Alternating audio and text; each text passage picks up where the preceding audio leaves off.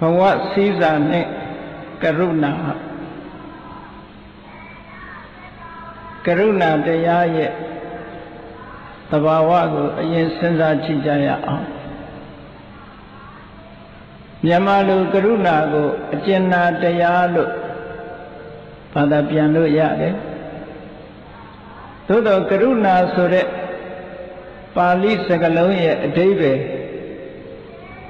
literal meaning လို့ခေါ်တဲ့ပါဠိစကားလုံးရဲ့မူရင်းအဓိပ္ပာယ်ကဘာတော့လို့ဆိုတော့သာဓုနံဟရယကမ္ပနံကရောတိတိကရုဏာလို့ဆိုတဲ့ဝိချုပ်အယ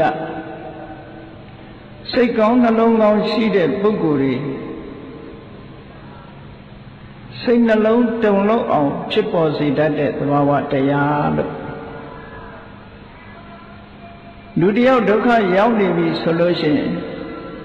ထိုဒုက္ခရောက်တဲ့ပုဂ္ဂိုလ်ပေါ်မှာကြည့်ပြီးအကျဉ်းတရားတွေပွားလို့ဒုက္ခတရားကိုဘယ်နည်းနဲ့ကူညီဖြေရှင်းရမလဲလို့နှလုံးသားထဲမှာလှုပ်ဆော်မှုလေးတွေဖြစ်ပေါ်လာတယ်။အဲ့ဒီနှလုံးသားထဲကလှုပ်ဆော်တဲ့သဘာဝတရားလေးတွေကိုကရုဏာလို့ခေါ်တာပါ။ မေတ္တာဆိုတဲ့သဘာဝနဲ့လည်းခြားနာတယ်မုရိဒာဆိုတာနဲ့လည်းခြားနာတယ်မေတ္တာဆိုတာလူသူမရွေးအလုံးရဲ့အကျိုးစီးပွားကိုလိုလားတာမေတ္တာကရုဏာဆိုတာကြတော့ဒုက္ခိတတတ္တဝါသို့မဟုတ်အခက်ခဲကျုံနေတဲ့ပုဂ္ဂိုလ်တယောက်မြင်လာလို့ရှင်နှလုံးသားရဲ့လှုပ်ဆော်မှုနှလုံးသားရဲ့လှုပ်ဆော်မှု စိတ်နှလုံးဟာငြိမ်အောင်ထားလို့မရဘူးငြိမ်ငြိမ်နေလို့မရဘူးတစ်ဖက်သားဒုက္ခရောက်တာကိုမကြည့်နိုင်မရှုနိုင်ကုညီဖြေရှင်းလို့တဲ့တဘာဝတရားတစ်ခုဟာကရုဏာမြတ်စွာဘုရားတဏ္ဍမှာအဲ့ဒီကရုဏာဆိုတာတာမန်ပုဂ္ဂိုလ်တွေနဲ့မနှိုင်းရှင်လောက်အောင်ကြီးမားသည့်အတွက်ကြောင့်ဘုရားတဏ္ဍမှာဖြစ်တဲ့ကရုဏာကြတော့မဟာကရုဏာလို့ဒီလိုခေါ်တယ်ပေါ့ အလွန်ကြီးမားတဲ့ကရုဏာတရားဒီတခုတတိပြုဖို့ရကရုဏာအကျဉ်းနာတရားဆိုတဲ့နေရာမှာတောကလို့ဆိုတဲ့စိတ်ဆင်းရဲမှုမပါစေရဘူးတောကဆိုတာနဲ့စိတ်မကောင်းဖြစ်ရတာတို့စိုးရိမ်ပူပန်မှုတာတို့စိုးရိမ်စိတ်တွေတို့ဆိုတာကကုသိုလ်တရားမဟုတ်ဘူးအကုသိုလ်တရား ကရုဏာတရားဆိုတာကအဲ့လိုစိုးရိမ်စိတ်ကင်းပြီးတော့ဘယ်လိုကူညီဖြေရှင်းရမလဲလို့တစ်ဖက်သားရဲ့ဆင်းရဲဒုက္ခကိုကူညီဖြေရှင်းလို့တဲ့ထိုတစ်ဖက်သားရဲ့ဒုက္ခကိုဖြည့်ရှုပြီးတော့မနေစိတ်နဲ့သဘောတရားတဲ့နော်ကရုဏာကင်းမဲ့တဲ့ပုဂ္ဂိုလ်ကဘသူသေးသေးငတေမာပြီးရောဆိုတဲ့စိတ်ဓာတ်မျိုးရှိတယ်လေ အဲကရုဏာရှိတဲ့ပုဂ္ဂိုလ်ကအဲ့ဒီလိုစိတ်ဓာတ်မျိုးမရှိဘူးသူများဒုက္ခကိုကူညီဖြေရှင်းလို့တဲ့စိတ်နေမထိထိုင်မသာစိတ်နှလုံးဟာလှုပ်ရှားလာကောင်းတဲ့သဘောနဲ့လှုပ်ရှားလာဘယ်ပုံပဲနည်းဒုက္ခကလွတ်အောင်တို့ဆောင်ရွက်ပြရမလဲလို့စိတ်ထဲမှာဖြစ်ပေါ်လာတာဟာကရုဏာတရားလို့ခေါ်တယ်အဲ့ဒီကရုဏာတရားဟာ ဘယ်တဘာဝတရားလဲဆန့်ကျင်ပဲလဲလို့ဆိုရင်ညင်ပန်းနှိပ်ဆက်လို့တဲ့ရက်ဆက်တဲ့ဝိဟိန္တာဆိုတဲ့တဘာဝတရားရဲ့ဆန့်ကျင်ပဲပဲကရုဏာကင်းမဲ့ပြီအကျဉ်းနာကင်းမဲ့ပြီဆိုရင်လူတယောက်ကိုဒုက္ခပေးတယ်အဲ့ဒီဒုက္ခပေးတဲ့သဘောကိုဝိဟိန္တာ cruelty ပေါ့ဗမာလိုတော့ရက်ဆက်ချမ်းကြုံမှုလို့ခေါ်တယ်က ရုဏာတရားကင်းမဲ့တဲ့ပုဂ္ဂိုလ်ရဲ့နှလုံးသားဟာမာကြောကြမ်းကြုတ်ရက်ဆက်တယ်ကရုဏာရှိတဲ့ပုဂ္ဂိုလ်ရဲ့နှလုံးသားကပျော့ပြောင်းပြီးထိုပုဂ္ဂိုလ်ရဲ့ဒုက္ခကိုကုညီဖြေရှင်းလို့တယ်ရက်ဆက်မှုကင်းတယ်ပေါ့အဲ့တော့ကရုဏာမှာ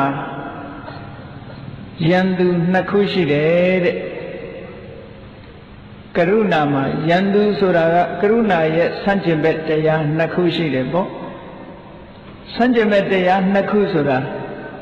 အနိကဆန့်ကျင်မဲ့တရားကတစ်ခုတဲ့အဝေးကဆန့်ကျင်မဲ့တရားတစ်ခုတဲ့ဒီလိုနှစ်ခုရှိအနိကဆိုတဲ့သဘောတရားကကရုဏာနဲ့ဆင်ဆင်တူပြီးတော့ကရုဏာရောင်ဆောင်တဲ့သဘာဝတရားကအနိကဆန့်ကျင်တဲ့တရားလို့ခေါ်တယ် အဲ့ဒါကသိတတိထားရဘုန်းကြီးတို့တွေရန်သူဆိုရင်အနီးရန်သူနဲ့အဝေးရန်သူအနီးရန်သူကိုပိုတတိထားရတယ်အနီးရန်သူကဒုက္ခအဝေးရန်သူဆိုတာကဒီကရုဏာမှာလည်းပဲအနိကဆန့်ကျင်မဲ့တရားကဘာလို့ဆိုတော့ကကရုဏာနဲ့တောကကအလွန်နိစ္စတဲ့ကရုဏာကလည်းတောကစိတ် ကရုဏာဆိုတာတစ်ဖက်သားကိုကြည့်ပြီးတော့စိတ်ထဲမှာကျင်နာတာတောကဆိုတာစိတ်မကောင်းတာဝမ်းနေတာကြေကွဲတာဟောဒီလားခံကရုဏာဆိုတဲ့ဘောင်ကိုကြော်ပြီးတော့တောကဖြစ်သွားရင်ကုသိုလ်လိုလိုနဲ့အကုသိုလ်ဖြစ်သွားရောတောကဆိုတာကဒေါသနဲ့ရှင်တဲ့ခံစားချက်ဒေါမနတဝေဒနာလို့ခေါ်တယ်စာပေမှာ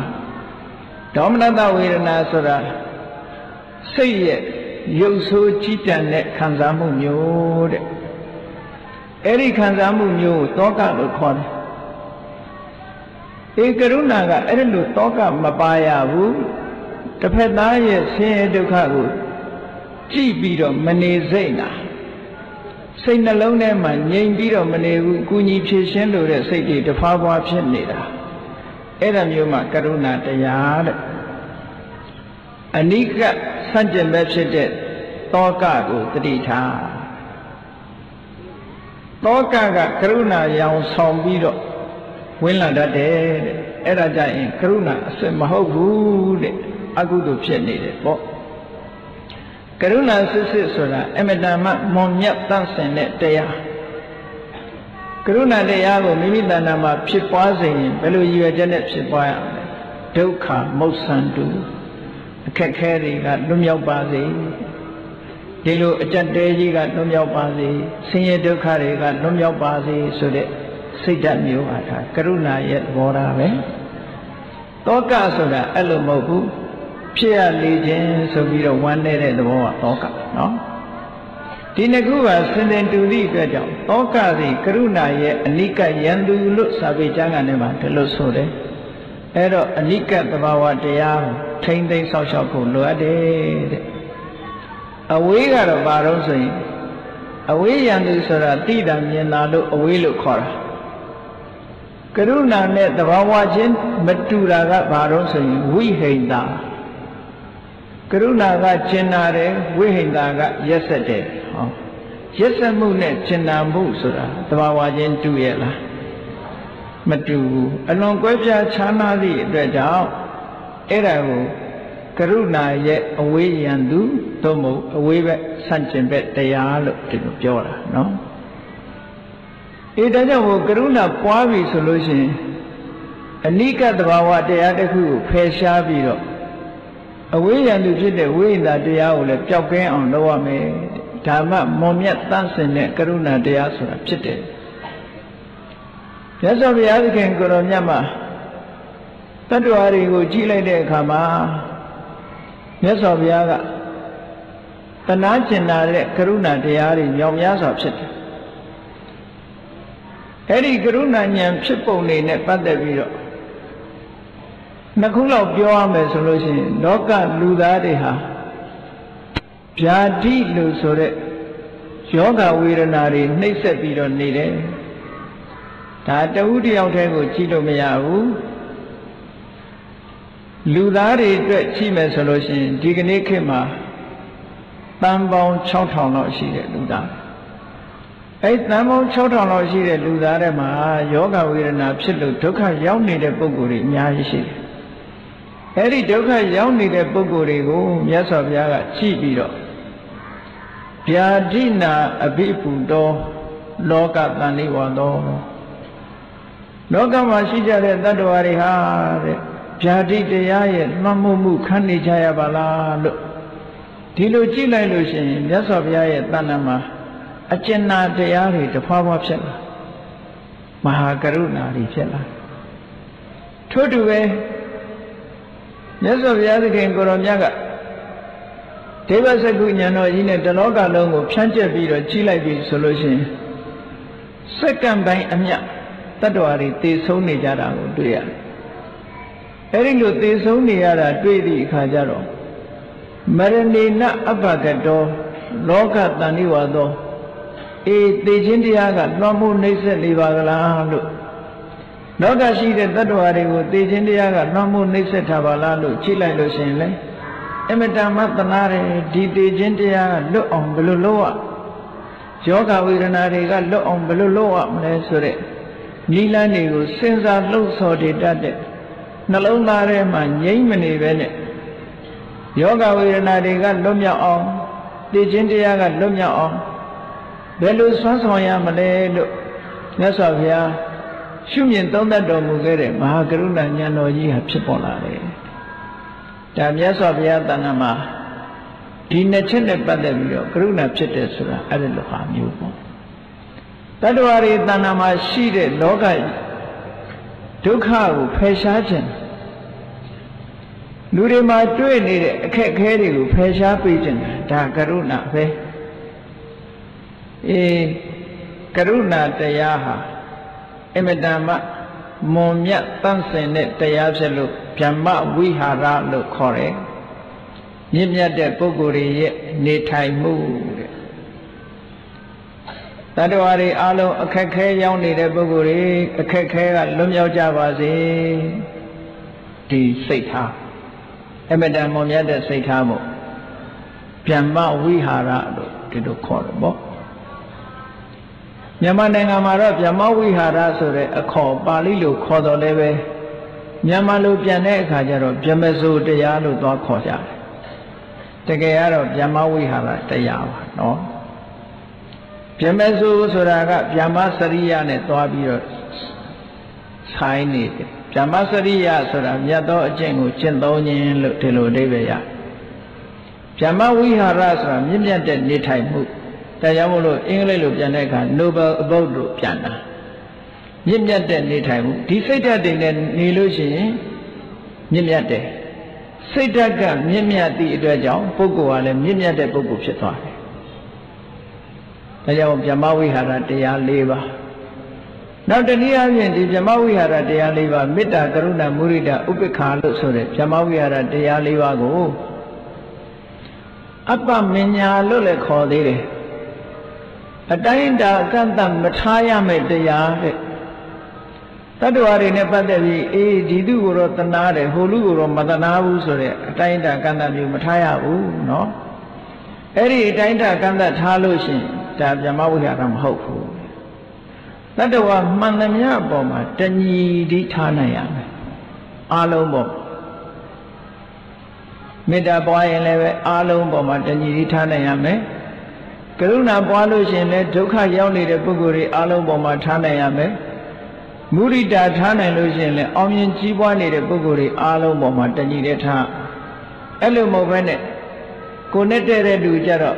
တမျိုးမတဲ့တဲ့လူကြတော့တမျိုးဆိုရင်ဒါများပြမဝိဟာရမခေါ်ဘူးเนาะဒီဒါကြောင့်မို့ဒီတရားတွေကိုအပ္ပမာဏတိုင်းတာကန့်တအကန့်အသတ်မရှိတာ limitless အကန့်အသတ်မထားဘဲနဲ့ပွားများစေရမယ်တရားတဲ့အာယုံကိုကန့်တတ်ပြီးတော့မထားရဘူးတဲ့ဒီကောင်းပြီဒီကရုဏာတရားဟာလူတိုင်းမှာရှိတဲ့တရားဖြစ်တော့လည်းပဲ တမ္မာပုဂ္ဂိုလ်တွေမှာမရှိကြဘူးလူတိုင်းမှာမရှိကြဘူးလူတိုင်းမှာရင့်မြတ်တဲ့ဗြဟ္မဝိဟာရတရားဆိုတာဒီကရုဏာတရားဆိုတာလူတိုင်းမှာမရှိကြဘူးအဲ့ဒါကြောင့်မို့လို့ရှိဖို့ဖြစ်ပေါ်လာဖို့လေ့ကျင့်ယူရမယ်ပေါ့သို့တော်လည်းအချို့ချို့ပုဂ္ဂိုလ်တွေမှာနှလုံးသားကတန့်စင်မွန်မြတ်သည့်အတွက်ကြောင့် ဒုက္ခရောက်တဲ့ပုဂ္ဂိုလ်ကိုကဲတင်လို့တဲ့ဒုက္ခကလွတ်မြောက်စေလို့တဲ့စိတ်သဘောထားလေးတွေဟာမွေးရပါသဘောမျိုးလို့တချို့မှရှိနေတတ်တယ်။ဒါလည်းအကြောင်းပဲမဟုတ်ဘူးဘဝဘဝကလေ့ကျင့်လာခဲ့တဲ့တဘာဝတရားပဲဖြစ်နိုင်တယ်။အဲ့လိုမှမဟုတ်လို့ရှိရင်တချို့ပုဂ္ဂိုလ်တွေကြတော့ cruel heart ရက်ဆက်တဲ့နှလုံးသားရှိတယ်ပေါ့အဲ့ဒါလိုရက်ဆက်တဲ့နှလုံးသားရှိတဲ့ပုဂ္ဂိုလ် ကရုဏာနဲ့အမတန်မှအလှမ်းဝေးတယ်ပေါ့အဲ့လိုပုဂ္ဂိုလ်မျိုးတွေလည်းလောကမှာအများကြီးပဲရှိတယ်ပေါ့အေးကောင်းပြီဘဝစည်းစာစည်းစာဆိုတာနေဝင်ချိန်ကာလလေးကိုခေါ်တာအရှိလောကရကထွက်လာတဲ့နေမင်းကြီးဟာအချိန်တန်တဲ့အခါအထတောင်ဆုံးဝင်ရောက်ပြောက်ွယ်ရစမြဲပဲ လူတွေရဲ့ဘဝမှာလည်းပဲအလုံးတ attva တွေရဲ့ဘဝမှာလည်းပဲဘဝစည်းစာနေဝင်ချိန်သို့မဟုတ်နောက်ဆုံးနေ့ဆိုတာရှိတယ်နော်အဲ့ဒီဘဝစည်းစာရောက်လာတဲ့ပုဂ္ဂိုလ်တယောက်ဟာနေဝင်တော့မဲ့အချိန်ဆိုလို့ရှိရင်ခရီးကလည်းပဲဝေးကွာနေသေးတယ်အမောင်တူကြီးကလည်းတန်းပြီ တန်းတော့မယ်နေဝင်ပျောက်ကွယ်သွားလို့ရှိရင်လမ်းခရီးမှာအန္တရာယ်တွေကလည်းအမတန်ပြောင်းတဲ့လမ်းခရီးမှာရှောက်လန်းရမယ်ဆိုအဲ့ဒီအချိန်မှာနေဝင်လို့အလင်းရောင်ကင်းမဲ့တဲ့အချိန်ရောက်နေပြီဆိုလို့ရှိရင်အမတန်မှတနာစရာအကောင်းဆုံးအချိန်ဖြစ်ပြီပေါ့အခက်ခဲတွေအမတန်ကြုံရ ထို့တူပဲဘဝစည်းစာဆိုတဲ့ဘဝရဲ့နေဝင်ချိန်နာကပ်လာပြီဆိုလို့ရှိရင်လူတွေဟာဒုက္ခရောက်ကြတယ်အာနာရှိတဲ့လူရောအာနာမဲ့တဲ့လူရောချမ်းသာတဲ့လူရောဆင်းရဲတဲ့လူရောတူတူပဲဘဝစည်းစာရောက်လာပြီဆိုလို့ရှိရင်တော့ကဲမဲ့လူနဲ့အလံဝေးလာတယ်အတ္တနောလောကောအနဘိတရောမြတ်စွာဘုရား လောကကြီးဟာအကာဝယ်ကင်းမဲ့နေတယ်ဘဝစည်းစာရောက်လာတဲ့ပုဂ္ဂိုလ်တယောက်ကိုဘယ်သူကမှဒီနေဝင်မိုးချုပ်ဖြစ်သွားမဲ့ဘဝကြီးကိုတားဆီးပေးလို့မရဘူးဘဝတစ်ခုကမှောင်ကြတော့မယ်သိခြင်းတရားနဲ့ရင်ဆိုင်ရတော့မယ်ဆိုတဲ့အချိန်ဟာတနာစရာအကောင်းဆုံးအချိန်တနာစရာအကောင်းဆုံးအချိန်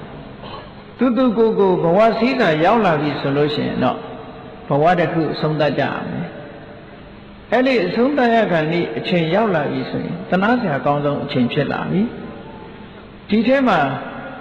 သိချင်းတရားနဲ့ရင်ဆိုင်ရတယ်ဆိုတဲ့နေရာမှာလွယ်လွယ်ကူကူနဲ့သိချင်းတရားကိုရင်ဆိုင်ရတာမဟုတ်ဘူးခက်ခက်ခဲခဲနဲ့သိချင်းတရားကိုရင်ဆိုင်ရတာလောကမှာနေမင်းကြီးမှောင်သွားလို့ရှိရင် ရှေ့လျှောက်လန်းရမယ့်ခရီးဟာမမြင်ရတယ်လို့ပဲဘဝစည်းစာရောက်လာပြီဆိုလို့ရှိရင်ထိုပုဂ္ဂိုလ်ရဲ့မမြင်နိုင်တဲ့အရာတွေဟာဘယ်နှခုရှိသလဲလို့ဆိုလို့ရှိရင်မမြင်နိုင်တဲ့အရာတွေဟာလူတယောက်မှာပါတော့ဆိုဇီဝိတံဘလောက်နေရအောင်မဲ့ဆိုမသိဘူးတို့အသက်ဟာဘလောက်ရှင်မယ်ဆိုတာဘယ်သူမှကြိုပြောလို့မရဘူးတဲ့လောကကြီးမှာမသိနိုင်တာအဲ့ဒါ အေးဘလောက်ပဲချမ်းသာပါတယ်ဆိုမဲ့ရုတ်တရက်မတော်တဆ accident ဆိုတာမျိုးနဲ့သိဆုံးသွားတယ်အခုမာမာကြီးတော်တော်ကြာမရှိတော့ဘူးဆိုတာမျိုးလည်းဖြစ်သွားတယ်ဘုန်းကြီးတို့တခါတော့ကလွန်ခဲ့တဲ့6နှစ်လောက်ကမေမြို့တက်သွားဘုန်းကြီးတစ်ပါးနဲ့အဲ့ဒီဘုန်းကြီးရဲ့မိတ်ဆွေရန်ကုန်ကနေပြီးတော့တခါတယောက်ဖုံးဆက်တယ် ဖုံးထဲမှာစကားပြောသိမကြပါဘူးမိမျိုးကပြန်ဆင်းလာတဲ့အခါကျဖုံးတကောဝင်လာခုနကဖုံးဆက်တဲ့တကဆုံးလို့တဲ့ဟောမယုံနိုင်လောက်အဖြစ်ပြမျိုးတွေပေါ့ဒါကြောင့်မို့ဇီဝိတလူတယောက်ရဲ့တက်တန်းဘလောက်နေရမယ်အသက်ဟာဘယ်၍ဘယ်မြရှည်လျားမယ်ဆိုတော့မသိနိုင်ဘူး နေဝင်ချိန်မှာစခန်းဝေးတဲ့နေရာရှောက်လန်းရတယ်လို့ပဲဘာတွေတွေ့မယ်လမ်းပေါ်မှာဘာတွေရှိနေမယ်ဆိုတာမသိနိုင်တယ်လို့ပဲကိုယ့်ရဲ့အသက်အတိုင်းတာကန့်တဟာလဲမသိနိုင်ဘူးတဲ့နောက်တစ်ခုကမသိနိုင်တာဘာလဲဘဝခရီးရှောက်လန်းတဲ့အခါမှာဘာယောဂနဲ့သိရမယ်ဆိုတော့မသိနိုင်အေးစီးကျူယောဂဖြစ်ပေမဲ့သွေးတိုးနဲ့သိခြင်းသိတယ် သွေးကြိုးယောဂရှိပေမဲ့လို့တခြားယောဂနဲ့သိခြင်းသိတယ်လုံးဝမျှော်မှန်းကြည့်လို့မရနိုင်ဘူးတဲ့ယောဂဝေဒနာနဲ့ပတ်သက်လာလို့ရှိရင်လေသေချာပေါက်မပြောနိုင်ဘူးတဲ့တချို့မှာဆွဲနေတဲ့ဝေဒနာကတစ်မျိုးသေတဲ့အချိန်ကျတော့တခြားဝေဒနာနဲ့သေသွားတယ်ပေါ့ဒါမျိုးတွေလည်းရှိဒါကြောင့်မို့ဗျာဒိဆိုတာလေကြိုတင်ပြောလို့မရဘူးတဲ့ကြိုတင်ပြောလို့မရတဲ့ဟာတခုပဲ ဘဝစည်းစာရောက်လာပြီဆိုလို့ရှိရင်ဒါတွေကပြောလို့မရနိုင်ဘူးဇီဝိတံဗျာဒိကာလောစကာလဆိုတာလူတယောက်ဟာဘဝခရီးအဆုံးသတ်မဲ့အချိန်ဘယ်အချိန်လဲမနဲ့လားနေ့လယ်လားညလားမပြောလို့မရဘူးပြောလို့မရလို့ကိုယ်ရှိပါတယ်မယ်ဘဝဏီကုန်းချုပ်သွားတဲ့ပုံကိုယ်ကြီးမြောင်များစွာရှိကြပါတယ်အမှတ်တမဲ့နေရင်တော့မသိဘူး အမှတ်တရနေမယ်ဆိုရင်တော့အကုန်သိနေကြတာပဲမမျော်လင့်မဲနဲ့ဖြစ်တာလေးရှိပဲဇီဝိတံဗျာတိကာလောစဒေဟနိခေပနံဂတိဘယ်နေရာမှာဘဝဏီကုံအဆုံးသတ်မယ်မသိသည့်အတွက်ကြောင့်ကိုယ့်ရဲ့ရုပ်အလောင်းကိုဘယ်နေရာမှာတချို့မယ်ဘယ်နေရာမှာမြုပ်နှံမယ်ဆိုတာလဲမသိနိုင်ကြဘူးတချို့ဟာကောင်းကင်ယံမှာအိဋ္ဌရောက်သွားတာလည်းရှိတယ် တချို့ဟာပင်လယ်ထဲခရီးသွားရင်အိဋ္ဌရောက်သွားတာလည်းရှိတယ်မျိုးစုံပဲလေမျိုးစုံပဲအဲ့တော့ကိုယ့်ရဲ့အလောင်းဘယ်နေရာမှာပြစ်ချရမယ်ဘယ်နေရာမှာမြုပ်နိုင်ရမယ်တင်းကြရမယ်ဆိုတဲ့ဟာလဲမှန်းကြည့်လို့မရနိုင်တဲ့ဟာတခုပဲတဲ့နောက်မသိနိုင်တာတခုကဘာလို့ဆိုရင်ဂတိလူတိုင်းလူတိုင်းဟာ လမ်းကြောင်းကြီးစခန်းကြီး၅ခုရှိတယ်ဂတိ၅ပါးလို့ခေါ်တာပေါ့ destination တဲ့ခရီးဆုံး၅ဌာနရှိတယ်အဲ့ဒီ၅ဌာနကဘာတော့ဆိုရင်ဒီဝဂတိတဲ့ကုသကံတွေအကျိုးပေးလို့ရောက်သွားနိုင်တဲ့နေရာတစ်ခုကနတ်ပြည်ထို့နောက်ဒုတိယရောက်သွားနိုင်တဲ့နေရာကလူပြည်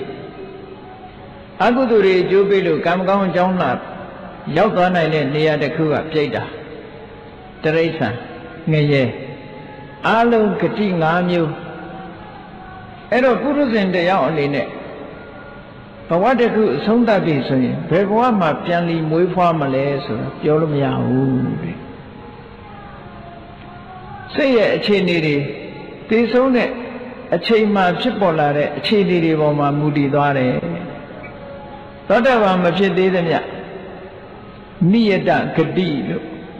ကိုသတ်မှတ်ထားတဲ့ဘဝတစ်ခုကိုသွားလို့မရသေးဘူးတဲ့နော်ဘုရားလောင်းကြီးတောင်မှတရိษံဖြစ်တဲ့အခါဖြစ်သွားတယ်ငရဲကျသွားတဲ့အခါကျသွားတယ်ဘာဖြစ်လို့သေကံဤအချိန်မှာဘာတွေနဲ့ကြုံပြီးဘာစိတ်နဲ့သေပဲဆိုတာကြိုတင်ပြောလို့ရမှာမရဘူးကြိုတင်ပြောလို့မရနိုင်တဲ့အချက်အခုလိုဘဝစည်းစာအချိန်ဘဝခရီးကိုရှောက်လန်းပြီဆိုလို့ရှိရင် ဒီအချက်တွေဟာလူတိုင်းလူတိုင်းကြိုတင်မပြောနိုင်တဲ့အချက်တွေကြီးပါပဲတဲ့အဲ့ဒီတော့ဘဝစည်းစာရောက်နေတဲ့ပုဂ္ဂိုလ်တိုင်း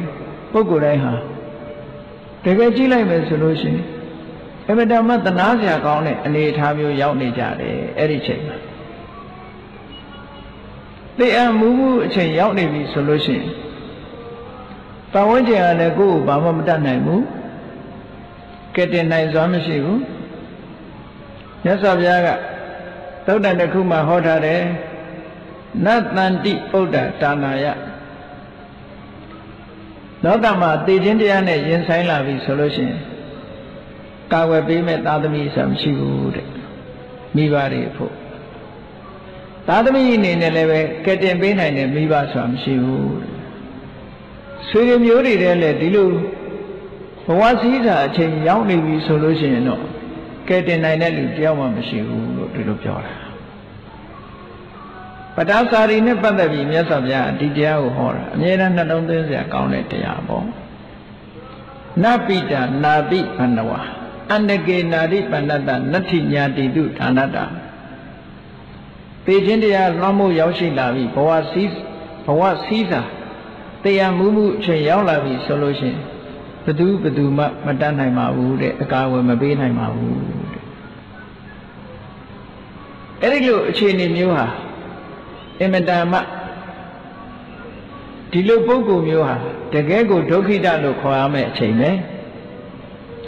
ဘဝစည်းစာခရီးရောက်နေပြီဆိုလို့ရှိရင်တော့အမတန်မှတနာရမယ့်ပုဂ္ဂိုလ်ဒီအချိန်မှမှကရုဏာမထားနိုင်ဘူးဆိုလို့ရှိရင်ကရုဏာမထားတဲ့ပုဂ္ဂိုလ်ဟာရက်ဆက်တဲ့ပုဂ္ဂိုလ်ပဲဖြစ်မှာပေါ့ ဒါကြောင့်မို့ဒီကနေ့စကိုင်းမျိုးသူမျိုးသားတွေစုပေါင်းပြီးတော့ဒုက္ခကာရီအသင်းဆိုတာတည်ထောင်တာကျမ်းမာမှုဆိုတဲ့အချိန်နော်ဘဝစည်းစာရောက်လာတဲ့ကျမ်းမာမှုလူတွေကကျမ်းမာရေးနဲ့ကိစ္စနဲ့ပတ်သက်လာလို့ရှိရင်အသက်အန္တရာယ်ဟာအမတန်မှနီးတယ်ပေါ့အသက်အန္တရာယ်နီးတယ်ဘာကြောင့်နီးတုံဆိုလို့ရှိရင် အချိန်မီဆေးရုံရောက်ရင်ရောက်မရောက်ရင်သိနိုင်တဲ့ယောဂမျိုးအသက်အန္တရာယ်နဲ့နေတာအချိန်မီလေးရောက်သွားလို့ရှိရင်လည်းအသက်ကိုကယ်တင်နိုင်လိုက်တဲ့အခါရှိတယ်ပေါ့အဲ့ဒီအခက်ခဲတွေကိုပြည့်လဲအောင်ဒီအခက်ခဲတွေတို့ဘယ်နည်းနဲ့ဖြေရှင်းရမလဲခက်ခဲတွေပြည့်လဲအောင်ဖြေရှင်းခြင်းနဲ့ဆိုတာကရုဏာပဲအဲ့ဒီလိုအခက်ခဲကြုံနေတဲ့ပုဂ္ဂိုလ်တွေအသက်ကိုလူနေရတဲ့အချုံလေးမှာ အချိန်လေးမှာလိုအပ်တဲ့အကူအညီတစ်ခုကိုပေးလိုက်လို့ထိုပုဂ္ဂိုလ်အသက်ကိုအသက်ကိုကယ်တင်နိုင်လိုက်တယ်ဆိုရင်လည်းအလွန်ဝမ်းသာစရာကောင်းတဲ့ကုသိုလ်ကြီးတစ်ခုပဲအေးကောင်းပြီဘဝရောက်လာရင်တော့လူတိုင်းလူတိုင်းဟာအဆုံးသတ်ကတော့သိခြင်းတရားပဲအဲ့ဒီသိခြင်းတရားနဲ့အဆုံးသတ်ပြီဘဝဏီကုံချုပ်သွားပြန်ပြီဆိုလို့ရှိရင်လည်းပဲထိုပုဂ္ဂိုလ်အတွက်ကတော့ သိဆုံးသွားတဲ့ပုဂ္ဂိုလ်အတွက်ကတော့ဘာမှသိနိုင်တဲ့အနေအထားမရှိတော့ဘူးဘဝအသစ်တစ်ခုကိုအစာပြုနေဘဝတစ်ခုအဆုံးသတ်ခြင်းသည်ဘဝအသစ်တစ်ခုကိုလီဒန်းပြိုးခြင်းပဲဖြစ်တယ်အဲ့တော့ဏိဒန်းရဲ့အစာဟာဏိကုံးပါဘဝတစ်ခုမှာဏိဒန်းရဲ့အစာဟာဏိကုံးကအဲ့လိုဘဝတစ်ခုသူကအစာပြုတ်သွားတာဖြစ်တဲ့အတွက်ကြောင့်သူ့အတွက်ကတော့ တနာเสียမရှိတော့ဘူးပေါ့တနာခြင်းရဲ့ခုဘက်ရောက်သွားပြီဘာဖြစ်လို့တော့တနာထိုက်တဲ့အဆင့်ဆိုတာအသက်ရှိနေမှတနာမှာဟုတ်သေသွားပြီမှတော့တနာเสียဖြစ်မရှိတော့ဘူးအဲမရှိတော့တဲ့ဒါဖြင့်အဲ့ဒီအချိန်မှာဘသူ့ကိုတနာမလဲဆိုလူဆိုတာပတ်ဝန်းကျင်နဲ့နေကြတာမိသားစုရှိတယ်ကြံတဲ့မိသားစုတွေဟာထိုချိန်မှာတောကဖိစီးပြီးဒုက္ခရောက်နေကြ စိတ်အလွန်ဆင်းရဲနေကြတဲ့အချိန်ဖြစ်သည့်အတွက်ကြောင့်သူတို့ရဲ့ဒုက္ခကိုဝိုင်းဝန်းပြီးတော့ဖြေရှင်းပေးတာတဲ့နှကန္တနော်ဓမ္မရေးကူညီစောင့်ရှောက်တယ်ဆိုတာဘဝခရီးကိုအဆုံးသတ်တော့မဲ့ပုဂ္ဂိုလ်ဓမ္မရေးကိုသို့မဟုတ်ဗျာတိတရားရဲ့လွှမ်းမိုးခံရလို့ဒုက္ခရောက်နေတဲ့ပုဂ္ဂိုလ်ဖြေရှင်းပေးတာဒါကဓမ္မရေး စောင့်ရှောက်တာ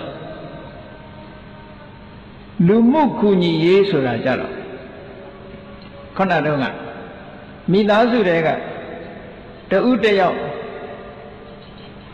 ဘဝနေကုံချုပ်သွားပြီဆိုရင်ကြံတဲ့ဆွေမျိုးတွေဟာခြေမကင်မိလက်မကင်မိသောကရဲ့ဖြည့်ဆည်းမှုကိုခံကြရလို့ဘာလို့ရမှမသိဘာကံရမှမသိတော့စိတ်တွေဟာသောကရဲ့နှမှုကိုခံနေရ အဲ့ဒီအချိန်ဟာတနာစရာအကောင်းဆုံးအကူအညီလိုအပ်ဆုံးအချိန်ဖြစ်ပါတယ်ထိုသောကကိုပြေရပြေကြောင်းဝိုင်းဝန်းပြီးတော့ဖြည့်ရှင်းတာတို့ကူညီပေးတာတို့ဆောင်ရွက်တာတို့ဟာဒီအချိန်မှာအကျဉ်းတရားထားရမယ့်အချိန်ဖြစ်တယ်ပေါ့အဲ့ဒါကကြံရင်တဲ့ပုဂ္ဂိုလ်တွေအတွက်အကျဉ်းတရားထားတာကိုပဲလူမှုကူညီရေးလို့ပြောတာအဲ့ဒီမွန်မြတ်တဲ့အချိန်မှာတကယ်အလိုအဆုံးအချိန်နှစ်ခုအတွက်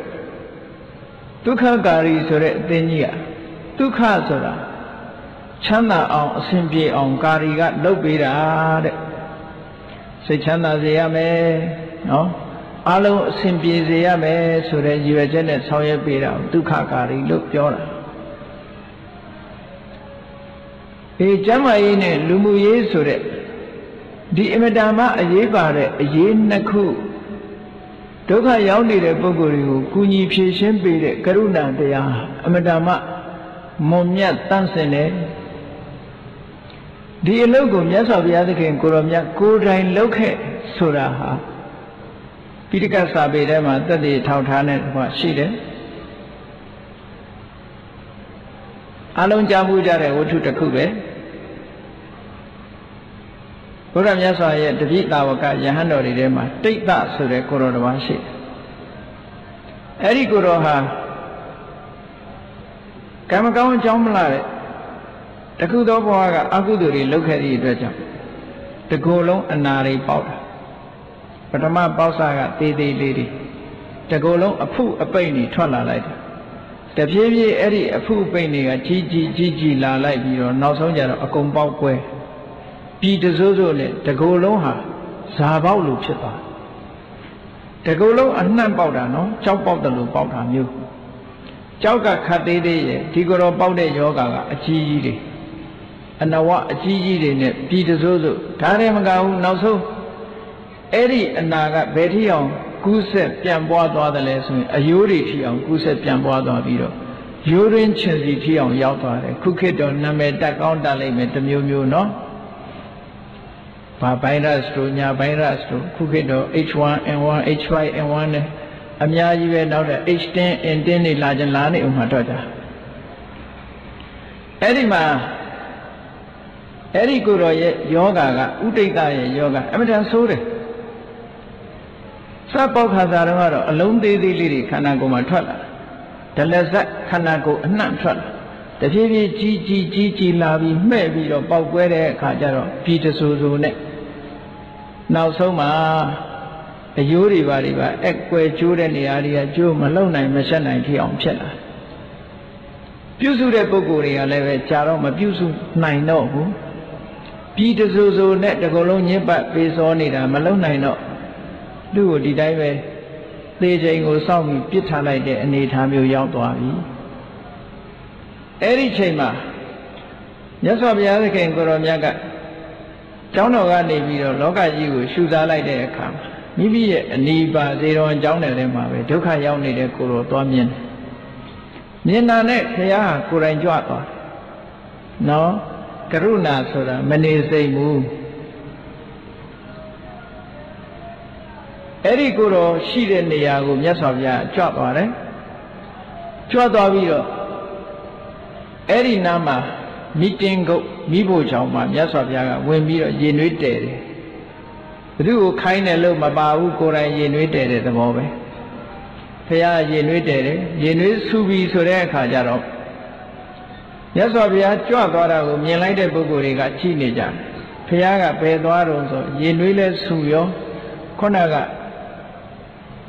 အားလုံးကစွန့်ပစ်ထားပြီဒီကုလုံးနဲ့နန်းစော်နေပြည်ပုတ်တွေနဲ့ပေးရည်ပြီးတော့ တញင်းကြီးတညူညူဖြစ်နေတဲ့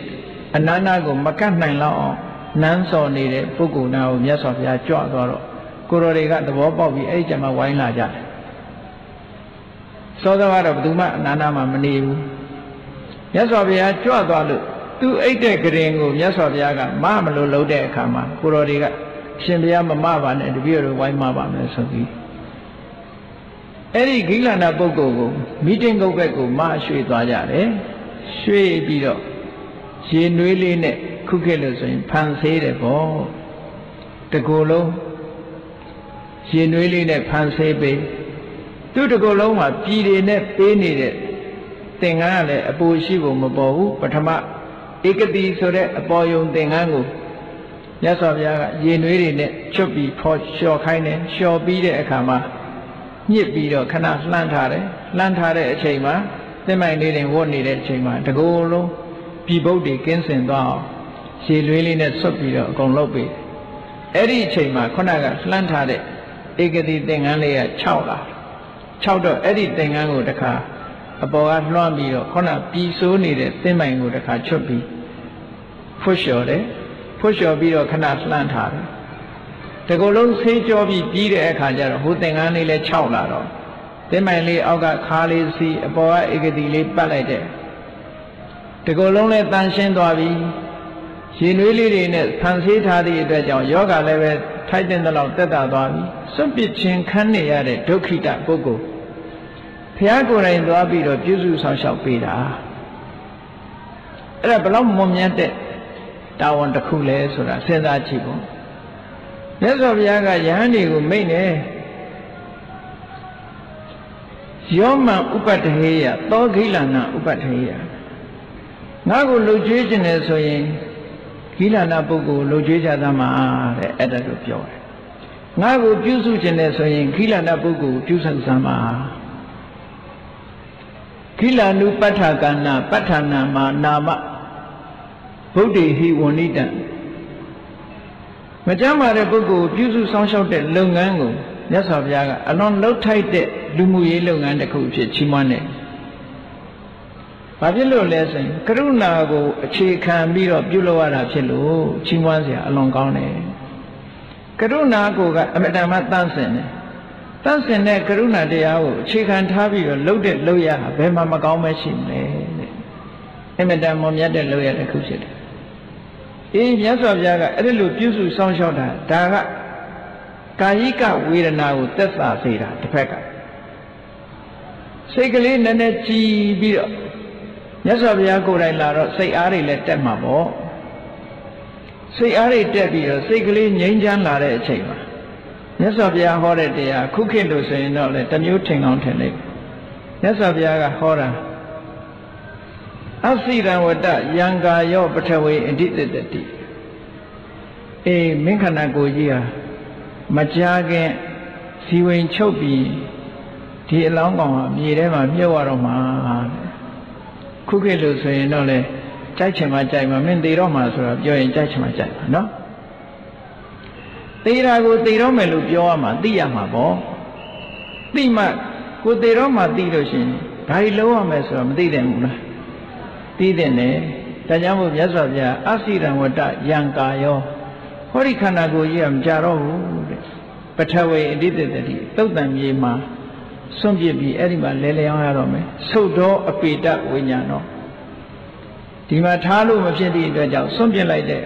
အသက်စီဝင်ကင်းသွားလို့စွန့်ပစ်လိုက်တဲ့အခါမှာဘာမှအသုံးမကျတဲ့ထင်းတုံထင်းပွဲလို့ဘာမှအသုံးမကျထင်းကမှအသုံးကျသေးတယ်အိမ်ယူပြီးတော့ရင်လေးကြိုလို့ရမယ်သမင်းချက်လို့ရမယ်ဒီလူရဲ့ခန္ဓာကိုယ်ကြီးကဘယ်ဟာမှ ထင်းမိဖြစ်အသုံးပြုလို့လည်းရတာမဟုတ်ဘူးနော်လူတယောက်သေသွားပြီဆိုရင်ဒီ body ကြီးကဘာသုံးချအောင်ဘာမှသုံးချတော့အဲ့ဒီသဘောလေးကိုမြတ်စွာဘုရားကဒီကထာလေးနဲ့တရားချလိုက်တာဒါကစိတ်ကိုကုစားပေးတာအဲ့ဒီလိုကုစားတာကဘယ်လိုတုံးလို့ဆိုရင်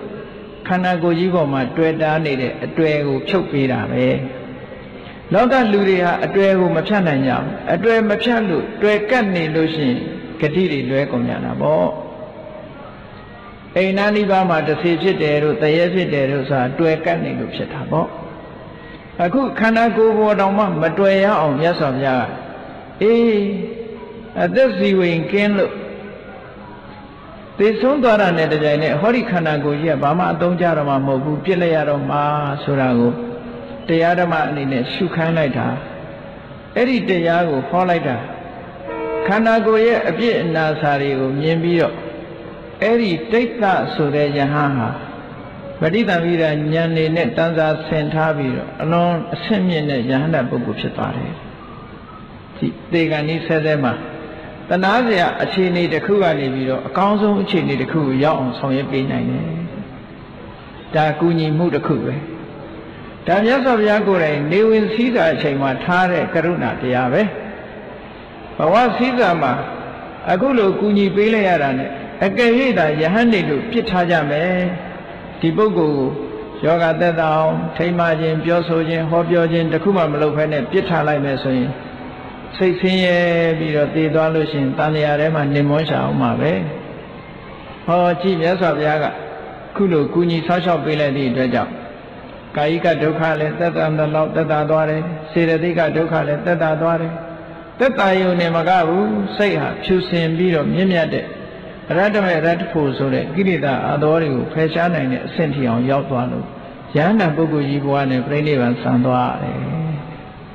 ဒါမြတ်စွာဘုရားရဲ့ကျမ်းမာရေးနဲ့လူမှုကူညီရေးပဲအေးဖះကိုယ်တိုင်လုပ်ခဲ့တာအဲ့ဒီပုဂ္ဂိုလ် ပြန်တော်မူသွားတဲ့အခါကျတော့မြတ်စွာဘုရားကယဟန်နေသုတ်တန်ပို့ပြီးတော့တကြိုခိုင်းနေပေါ့အမြတ်စွာဘုရားက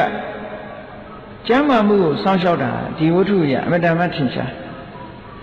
ဒီမထေကိုစာပေထဲမှာတိတ်တလို့လည်းမခေါ်ပဲနဲ့ပုတိခတ္တဆိုတဲ့စကားလုံးကိုထည့်သုံးတာပုတိခတ္တခတ္တဆိုတာခန္ဓာကိုယ်ကိုပြောတာပုတိဆိုတာပုတ်နေပုတ်နေတဲ့ခန္ဓာကိုယ်ရှိတဲ့တိတ်တကိုယ်တော်လို့ ဒီလိုနာမည်ပေးထားတာနော်အဲ့ဒါလိုယောဂဝေဒနာပြင်းပြနေတဲ့ပုဂ္ဂိုလ်ကိုကျမ်းမာရေးကုညီဆောင်ရှောက်ပေးတဲ့သဘောပဲဒါဘဝစည်းစာအချိန်မှာဒီလိုကုညီလိုက်တာအေးနောက်တစ်ခုတတ္တေတာရကတစ်ခုကကသဗ္ဗမြတ်စွာဘုရားလက်ထက်တုန်းကတောင်ထိပ်တက်ပြီးတော့တငယ်ချင်းယဟန်တော်9ပါးတရားဓမ္မအားထုတ်ကြတယ် အဲ့ဒီတရားဓမ္မအားထုတ်တဲ့ထဲမှာတဦးကယဟနာဖြစ်သွားတယ်တဦးကအနာဂံဖြစ်သွားတယ်ကြံတဲ့၅ပါးကတော့ပုရုဇဉ်ဘဝနဲ့ပဲတည်သွားကြတယ်အဲ့ဒီ၅ပါးဟာဂေါရမမြတ်စွာဘုရားလက်ထက်ကျတော့ပေါ်လာကြတယ်နော်တောင်ထိပ်တက်ပြီးတော့တရားထုတ်တယ်ဆိုတာတောင်ဆိုတာခုခေတ်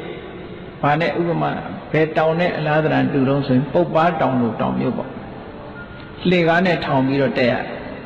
တောင်ပေါ်ရောက်ပြီးတာနဲ့တပြိုင်နက်အဲ့ဒီလှေကားကိုတွန်းချလိုက်တယ်ပြန်ဆင်းလို့မရတော့ဘူး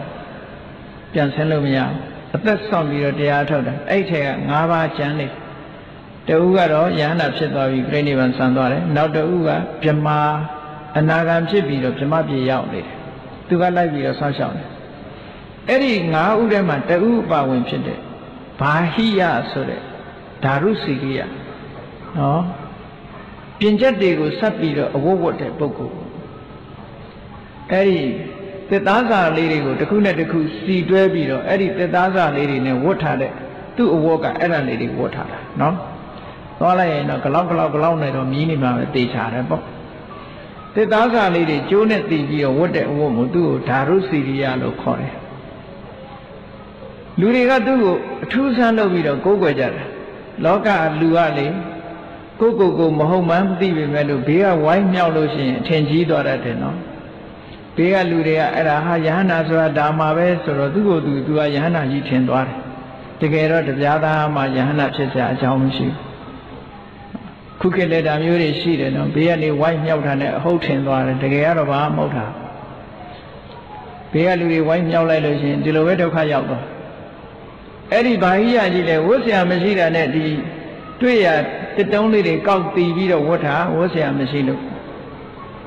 အဲ့ဒါနဲ့သူ့ကိုယဟန္တာလို့ဝိုင်းသမုတ်လိုက်တဲ့အခါသူကလည်းသူ့ကိုသူယဟန္တာကြီးလုံနေလိုက်တာ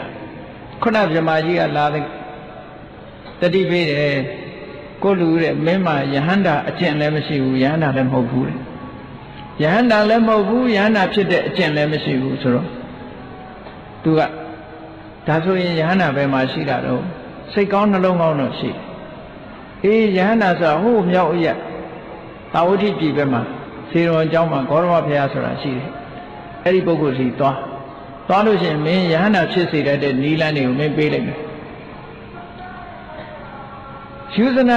120ရှိတဲ့ခရီးကိုအားချင်းသွားလိုက်တာလမ်းမှာတညပဲအိတ်ခဲ့တယ်နိုင်မောများစွာဝေးတဲ့ခရီးကိုသူကကြားတဲ့အချိန်ကနေစပြီးထွက်သွားလိုက်တာဖះကိုတွေ့ကျင်လို့ လမ်းမှာတညပဲအိတ်ပြီးတော့သွားတာကိုရောက်တော့မနေ့ပိုင်းရောက်လာတယ်ဇေရွန်ကျောင်းရောက်တဲ့အခါကျတော့ဖះပဲမလဲမေးတော့ဆောင်းကန်ကြွသွားသေးတယ်ဘယ်ကလာတာတော့ဆိုအိုးသုတ်ပါရကအိန္ဒိယတောင်ပိုင်းပေါ့သုတ်ပါရကသင်္ဘောစိတ်ကလာတယ်ဆိုဟာဝေးကြည့်ပါလားဘယ်နည်းကထွက်လာတာတော့ဆိုမနေ့ကပဲထွက်လာခဲ့တာထွက်လာတယ်ဆိုသူအမတန်မှ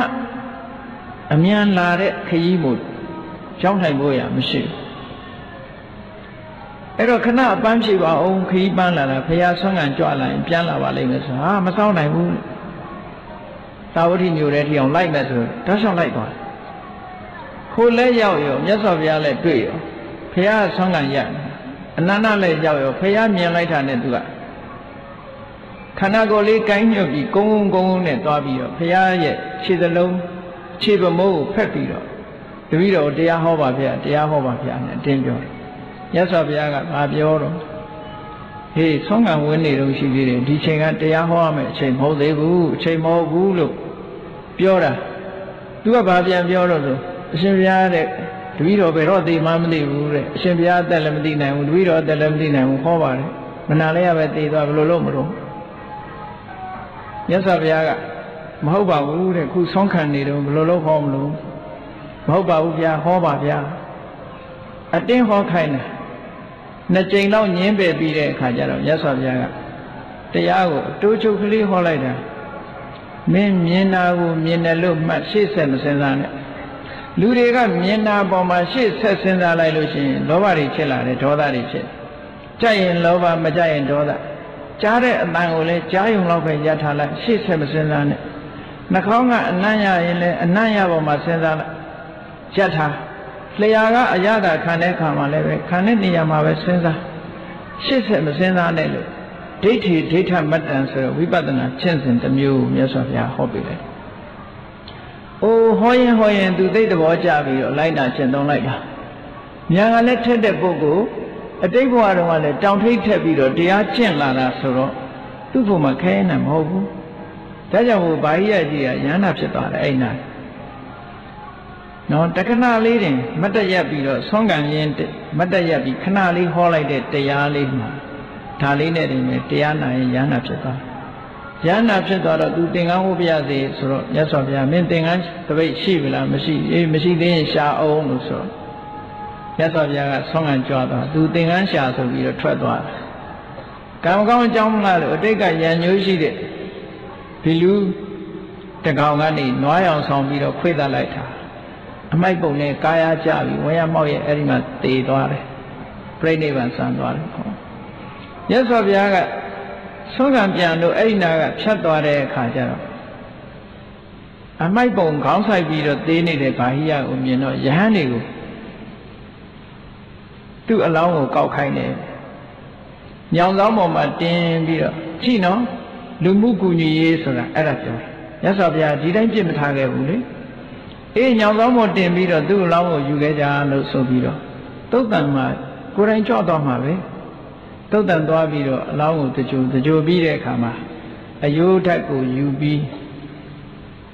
ဂူတယ်ပေးတယ်ပေါ့နော်အဲ့ဒီမှာယဟန်တွေကပြောတယ်ဟာဒီပုဂ္ဂိုလ်ခုပဲဖះနဲ့တွေ့ပြီးခုပဲတည်သွားတယ်သူဘာဖြစ်သွားတော့ဆိုဖះကဟာမဟုတ်ဘူးယဟန်နာဖြစ်သွားပြီ ရှင်ပြမြန်လာရည်လားဆိုအေးမြန်တယ်မပြောနဲ့ငါစကားဟာတလုံးမိမယ်လို့ဒီအသိဉာဏ်ရှိတဲ့ပုဂ္ဂိုလ်ကြတော့တလုံးနဲ့နဲ့လည်းပေါက်ရောက်သွားတာပဲတဲ့စကလုံးတွေထောင်တောင်းချီပြောနေပေမဲ့လို့တရားဓုမရတဲ့ပုဂ္ဂိုလ်ကမရဘူးတဲ့တရားဓုရတဲ့ပုဂ္ဂိုလ်ကခါရလေးတစ်ပုဒ်နဲ့လည်းတရားဓုရနိုင်တယ်လို့တူနဲ့တူကညံပွင့်သွားတာချင်းမတူဘူးပေါ့နော်ကဲအဲ့ဒီဝတ္ထုကိုကြည့်လိုက်မယ်ဆိုလို့ရှိရင်မြတ်စွာဘုရားကယဟန်တော်တွေကိုကြည့် လူမှုရေးတရားကိုတတိထားရမယ်ပေါ့လူမှုရေးကိစ္စတွေကိုဆောင်ရွက်တဲ့အခါမှာဒီတဲ့ထူးခြားတဲ့ကုသိုလ်နှစ်ခုမမေးကြဘူးအေးအလုံးသိကြလိမ့်မယ်ယတတထေသားရဲ့အတိတ်ဘဝကကံယတဆိုတာဗာရဏသီပြည်က မြတ်စွာဘုရားကတပည့်ဆက်ကြတရားဟောတယ်ပင်စဝဂီတို့ပင်စဝဂီ၅ပါးကိုတရားဟောပြီးတဲ့နောက်မှာ6ပါးမြောက်ယဟန္တာဖြစ်တာယတအဲ့ဒီယတဟာဗာရဏသီမှာအမတန်မှချမ်းသာတဲ့တထေသားတယောက်ပဲအဲ့ဒီတထေသားကညသကောင်းကျော်အချိန်မှာသူနဲ့တူအိတ်နေတဲ့ ကပွဲတစ်ခုသူ့အိမ်မှာဆင်ရင်နေတယ်အမျိုးသမီးတွေတီးမှုတ်ပြီးတညလုံးကပြဖြေးပြောနေတဲ့အခန်းမှာအိတ်ပျော်သွားကြတော့ညသကောင်ကျော်နိုးလာတဲ့အခါမှာသူ့စိတ်ထဲမှာတုတ်တန်လဲရောက်နေတယ်လို့စိတ်ကထင်သွားတယ်ထင်သွားပြီးတော့မိုးမလင်းခင်ပဲအိမ်ကနေထွက်ခွာသွားတယ်မြတ်စွာဘုရားကတုတ်တန်ဘက်မှာသတင်းသုံးနေတာဘုရားစီကိုရောက်သွားတယ်အေးလောကကြီးဟာ နှိမ့်ဆက်ခံနေရတယ်နှိမ့်ဆက်ခံနေရတယ်အိမ်မှာမပျော်တော့လို့ထွက်သွားလိုက်တာနော်ဖះနဲ့တွေ့တဲ့အခါကျတော့မြတ်စွာဘုရားကအေးငြိမ်းချမ်းမှုကိုလိုလားခြင်းလိုလားရင်အနှိမ့်ဆက်မခံရရင်ထိုင်ငါနီလန်ပေးမယ်လို့ဆိုဖះတရားနာရင်သူလည်းရဟနာဖြစ်သွားတဲ့ပုဂ္ဂိုလ်ပေါ့အဲ့ဒီသူ့ရဲ့ရှေးကောင်းမှုလေးကဘာလဲလို့မေးတဲ့အခါမှာအခုဒုက္ခကာရီအသင်းတို့လိုလူမှုကူညီရေးအသင်း နေလို့ရှေးကဒုက္ခရောက်နေတဲ့ပုဂ္ဂိုလ်တွေတချို့စိတ်မရှိလို့ဒုက္ခရောက်နေတဲ့ပုဂ္ဂိုလ်တွေကိုဝိုင်းဝန်းကူညီပြီးတော့စေရနာဝန်တန်းတချို့ပေးတဲ့ပုဂ္ဂိုလ်ပဲသူတို့ဟာဖွဲ့အစည်းဖွဲ့ပြီးတဲ့အခါတချို့ကြအဲတချို့မှုလုပ်ပေးတာကကရုဏာကိုအခြေခံတဲ့ကုသိုလ်တစ်မျိုးပဲကရုဏာကိုအခြေခံတဲ့ဝေယဝိသကုသိုလ်မျိုးပဲဖြစ်တယ် ဒါပေမဲ့လို့တတိထားဖို့ယတကယဟန္တာဖြစ်သွားတာဟာအဲ့ဒီကုသိုလ်ကြောင့်တင်မကဘူးနော်ယဟန္တာဖြစ်သွားတာကဒီနေ့ကျတော့အလောင်းတလောင်းကိုသူတကြိုးတယ်တကြိုးရင်းနဲ့ဘာသွားပြီးတော့စိတ်ထဲမှာအလောင်းရဲ့ရုပ်ပြက်ဆင်းပြက်ဖြစ်သွားတာကိုကြည့်ပြီးတော့အေးငါခန္ဓာကိုယ်ကြီးဟာလည်းပဲဒီလိုမတင့်တယ်ဘူးဆိုတဲ့ဒါမျိုးဖြစ်ရအောင်မှာပဲလို့ အတုပတင်ညာလို့ခေါ်တဲ့မတင့်တယ်တဲ့သဘာဝတရားကိုရှုမြင်သုံးသပ်တဲ့ဉာဏ်ဉာဏ်သွေးသူဆန္ဒမှာဖြစ်လာတယ်အသိဉာဏ်လေးဝင်လာတယ်အဲ့ဒီကုသိုလ်ကအဓိကအဲ့တော့လူမှုကူညီရေးလုံးနေတဲ့အချိန်မှာတာမန်ဝေယဝိဇ္ဇကုသိုလ်များမကအတုပတင်ညာပွားမိဖို့အရေးကြီးတယ်နော်ခုခေတ်မှာအတုပရှိလို့လိုက်ပို့ကြတယ် အချင်းချင်းစကားလေးပြောရက်တောင်လေးရပ်ပြီးတော့ယူပြီးပြန်လာကြတာကြဲရဲမောမောနဲ့ပဲအော်ဒီအလောင်းကောင်ကြီးလို့ငါခန္ဓာကိုယ်ကြီးကလည်းပဲအခုလိုဖြစ်တတ်တဲ့သဘောရှိပါလားငါခန္ဓာကိုယ်နဲ့သူခန္ဓာနဲ့တူတူပဲလို့ဒီလိုနှိုင်းရှင်ပြီးတော့တန်ဝေကတရားဖြစ်ပွားမိတဲ့ပုဂ္ဂိုလ်အလွန်နေလိမ့်မယ်အဲ့ဒီကုသိုလ်မျိုးကိုလည်းပဲအမှတ်တမဲ့မနေရဘူးတဲ့ ဟောယတကအတုဝအလောင်းကောင်တစ်ခုကိုတကြိုရင်းကနေပြီးတော့သူကအတုဝတင်ညာပွားခဲ့ဘူးလားတစ်ခုနောက်တစ်ခုကသေခြင်းတရားစဉ်းစားဆင်ခြင်မိတာတစ်ခုအဲ့တော့လူမှုကူညီရေးအသင်လုံးနေတဲ့အချိန်မှာဒီနှစ်ခုဘာဝနာကုသိုလ်ရအောင်ယူနိုင်ဖို့အရေးကြီးတယ်ပေါ့မရဏတတိနဲ့အတုပ မရဏတတိကိုဘယ်လိုပွားမလဲဆိုရင်အေးမရဏဓမ္မောမိမရဏအနတ္တိတောအေးဒီပုဂ္ဂိုလ်တယောက်တော့ဆုံးသွားပြီငါလည်းပဲသိဆုံးခြင်းဆိုတဲ့သဘောတရားငါမှလည်းပဲရှိတယ်ငါလည်းသိခြင်းတရားကိုကျော်လွှားပြီးမသွားနိုင်ဘူးတို့လည်းဒီနေ့ကျတော့တရားအောင်မှာပဲဆိုတဲ့တန်ဝေကစိတ်ကလေးကိုဖြစ်ပါစေအဲ့ဒါက တစ်ချိန်ကြလို့ရှိရင်ပါရမီကုသိုလ်ဖြစ်ပြီးဘာဝနာကုသိုလ်ဖြစ်ပြီးတော့တန်မြာဥက္ကကျွတ်ဖို့အတွက်ထောက်ကူတွေအများကြီးဖြစ်သွားတယ်အဲ့လိုမဟုတ်ဘဲနဲ့ဝေယဝိဇ္ဇကုသိုလ်လောက်တင်ယူမယ်ဆိုလို့ရှိရင်အဲ့ဒီအတွေးမျိုးမပေါက်ဖဲနဲ့ဝေယဝိဇ္ဇကုသိုလ်များတာယူမယ်ဆိုရင်တာမန်ကုသိုလ်လောက်ပဲရမှာပဲနော်ဒီကုသိုလ်ကအမတန်အရေးကြီးတယ်နာယိကိစ္စကိုကုညီပြီးဆိုကြတဲ့က မရဏဓမ္မောမိမရဏနာတိတော့ဩငါလည်းတနေ့ကျသေအောင်ပါပဲသေခြင်းတရားကိုမလွန်မြောက်နိုင်ဘူးဒါကမရဏတတိဘာဝနာကုသိုလ်ရုပ်အလောင်းကိုကြည့်ပြီးတဲ့အခါကျတော့ငါရဲ့ခန္ဓာကိုယ်ဟာလည်းပဲဒီသဘောကိုမလွန်မြောက်နိုင်ဘူးဒီနေ့ကျတော့ငါခန္ဓာကိုယ်ကြီးဟာလည်းပဲ၃ရက်ကကျော်၄ရက်ရောက်လာတဲ့အခါပုတ်ပွားခြင်းဆိုတဲ့ဒီသဘောတွေကိုမကျော်လွှမ်းနိုင်ဘူးအတုဝတင်ညာကိုပွားမိအောင်ပွားရမယ် အဲ့ဒီလိုပွားလိုက်လို့ရှိရင်အခုပွားထားတဲ့မရဏတတိဘာဝနာတို့အတုဝတင်ညာတို့ဆိုတာတစ်ချိန်တစ်ခါကိုယ့်ရဲ့ရင်ထဲနှလုံးထဲရောက်လာပြီဆိုရင်ခုခေတ်စကားနဲ့ပြောရင် online ပေါ့ online ဖြစ်သွား online ဖြစ်သွားတာနဲ့ကြည့်လေယတအလောင်းတရားဟာတဘောတုန်းကဒီလိုလုပ်ခဲ့တာဂေါရမဘုရားလက်ထက်ရောက်လို့တထေသားဖြစ်ပြီးစီစဉ်ခံစားနေရတဲ့အချိန်မှာ သူကိုယ်သူအမတန်မှตายရတဲ့နတ်ပြတ်သက်ထဲမှာနေရင်ကနေပြီးတော့သုတ်တန်အလဲရောက်နေတယ်လို့စိတ်ထဲမှာခံစားရတာအဲ့ဒီတော့ကအတွေးတွေပြန်ပေါ်လာပဲတစ်ချိန်တစ်ခါတွေးထားတဲ့အတွေးဟာပြန်ပေါ်လာဒီလောက်တောင်မှအင်အားမရှိတဲ့အတွေးတစ်ခုကလည်းအကျွတ်တရားရသွားတဲ့ပုဂ္ဂိုလ်အလုံးသတိထားမိကြလိမ့်မယ်သုလပံလို့ခေါ်တဲ့သုလပန္ထကအတိတ်ဘဝတုန်းကဘယင်ဖြစ်တဲ့အချိန်မှာ နေဘူးကျဲကျဲပူလောင်တဲ့အချိန်တိုင်းကန်းပြည်လှက်လေတော့ဒီကုလုံးကချွေးတွေထွက်တဲ့အခါနှစ်ဖူးကချွေးကိုဖြူစွတ်နေတဲ့ပွာလေးနဲ့တုပ်လိုက်တဲ့အခါခန္ဓာကိုယ်ကကြီးညော်တွေကပဝါကိုဆွဲသွားတယ်အဲ့ဒီပဝါလေးညစ်ပေသွားတာကိုကြည့်ပြီးအော်ခန္ဓာကိုယ်ကြီးကိုကြောင်းပြုတ်ပြီးတော့စင်ကြယ်တဲ့ပဝါတော်ညစ်ပေသွားရပါလားဆိုတဲ့ခန္ဓာကိုယ်ရဲ့အပြစ်ကလေးကိုမြင်လိုက်တာနော်အဲ့ဒီအတွေးလေးဟာအွန်လိုင်းဖြစ်သွားတယ် ဂေါရမဘုရားလက်ထက်ရောက်တဲ့အခါအင်မတန်ညံထိုင်းတဲ့ပုဂ္ဂိုလ်ဖြစ်ပေမဲ့လို့မြတ်စွာဘုရားကပဝါပြူလေးတစ်ခုလက်ကမွာလေးတစ်ခုဖွေးစွန်နေတဲ့လက်ကမွာလေးဖန်တီးပြီးတော့သူပေးလိုက်တာအဲ့ဒါဘာလို့ဆိုအတိတ်ဘဝနဲ့ပြန်ဆက်ဆက်ပေးတာဒီအတွေးပေါ်အောင်လုပ်ပေးလိုက်တာပဲအဲ့ဒီတုန်းကတွေးထားတဲ့အတွေးလေးကိုအခြေပြုပြီးတော့ဝိပဿနာဉာဏ်တက်ပြီးရဟနာဖြစ်သွားတာလေဒါကြောင့်မို့လို့အသေးအဖွဲလေးလို့မအောင်မေ့လေနဲ့ကုသိုလ်ကံဆိုတာ ဒီအတွေးလေးတွေဟာလည်းအသေးအဖွဲလေးတွေလို့မအောင်မေ့နဲ့ကြုံကြိုက်တဲ့အခါတိုင်းပဲဩသိခြင်းတရားငါမှလည်းပဲရှိနေတယ်ငါလည်းသိခြင်းတရားကိုမလွန်နိုင်သေးဘူးဆိုတဲ့အတွေးလေးဟာအမြဲတမ်းဖြစ်စေရမယ်အတွေးလေးတစ်ခုပဲရုပ်လောင်းကောင်ကြည့်ပြီးတော့အေးဒီရုပ်လောင်းကောင်ကြီးဟာမတင့်တယ်အတုပယွန်းစပွဲဖြစ်တယ်လို့ငါရဲ့ခန္ဓာကိုယ်ဟာလည်းပဲဒီတိုင်းပဲဘာမှမထူးဘူးလို့ အတုပတင်ညာလေးပွားရမယ်တဲ့အဲ့ဒီနှစ်ခုကိုပွားခြင်းဖြင့်တန်တရားဝကလွတ်ရလွတ်ကြောင့်ကုသကောင်းမှုကိုလည်းပဲစီးပူးအထောက်ပြီးသားဖြစ်ပါလိမ့်မယ်ဒါကြောင့်မို့လူမှုကူညီရေးအသင်းတွေလုပ်တဲ့အခါမှာဒီကုသိုလ်နှစ်ခုကိုရအောင်ယူပါအဲ့ဒီနှစ်ခုကိုမရဘူးဆိုလို့ရှိရင်တာမန်ဝေယဝိသကုသိုလ်များဖြစ်သွားတယ်မွန်မြတ်ပါတယ်ကရုဏာကိုအခြေခံပြီးတော့လုပ်တဲ့ကုသိုလ်တွေကမွန်မြတ်တယ်ဆိုပါစို့ ကားလူထားတဲ့ပုဂ္ဂိုလ်နော်ကားလူထားတဲ့ပုဂ္ဂိုလ်ကလည်းကားလူရင်ရင်အလှကုသိုလ်တော့ရပြီသို့တော့ခုနကပြောတဲ့ကုသိုလ်လည်းရအောင်ယူဖို့လိုအပ်တယ်တဲ့အေးကျမ်းမာရေးနဲ့လူမှုကူညီရေးဆိုတဲ့ဒီအရေးနှစ်ရေးဟာကရုဏာကိုအခြေခံပြီးတော့ဆောင်ရွက်လုပ်ကြရတဲ့အရေးတွေဖြစ်လို့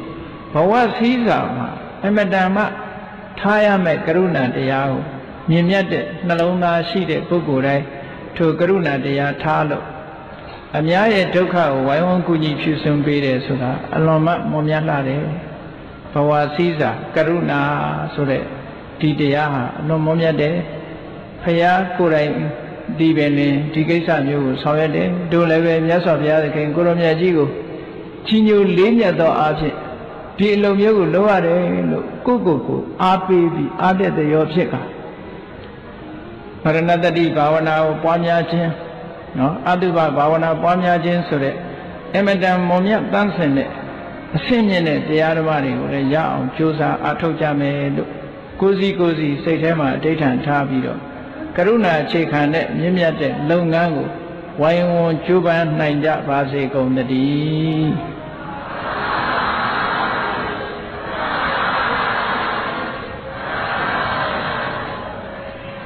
မေတ္တာပို့ရအောင်တတ္တဝါများစွာဘေးရန်กว่าချမ်းသာကြပါစေတတ္တဝါများစွာဘေးရန်กว่าချမ်းသာကြပါစေမေတ္တာရေချမ်းသွန်ကားဖြံ ငြိမ်းချမ်းကြပါစေမေတ္တာရေချမ်းသွန်ကားဖြံငြိမ်းချမ်းကြပါစေသက်ရှိကျမ်းမာစိတ်ချမ်းသာ